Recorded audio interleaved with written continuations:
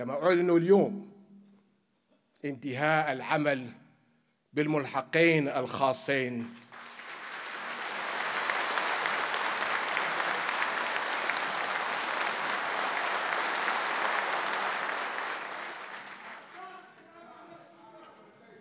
بمنطقتي الغمر والباقورة في اتحاد في اتفاقية السلام وفرض سيادتنا الكاملة على كل شبر منها.